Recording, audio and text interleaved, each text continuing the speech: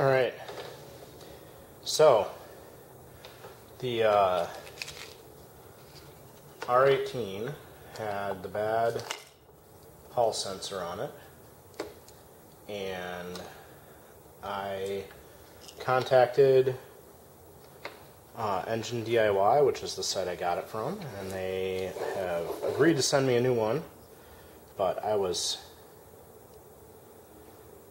uh, looking around and found uh, replacements for those Hall sensors. So the new one is in the mail, but it's coming from China.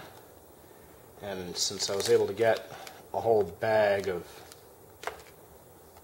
replacement sensors uh, delivered next day, um, I went and replaced the old one, soldered, soldered this wire harness all up, and I'm just going to put it into the holder back here.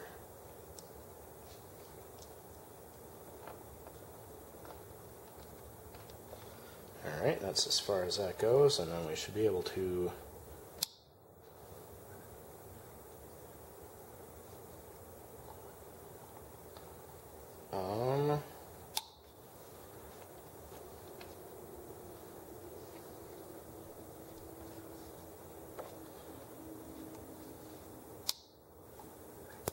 There we go. It's upside. It was upside down the first time. Uh, they make Hall sensors that just detect any change in magnetic field, and ones that only react to a south pole or a north pole. So, and if you get the ones that only react to a certain pole, they've got to be the right side facing the magnet to react. So, there we go this is fixed and I can put it back together and hopefully we can uh, run it again. And we'll see how long the sensor lasts.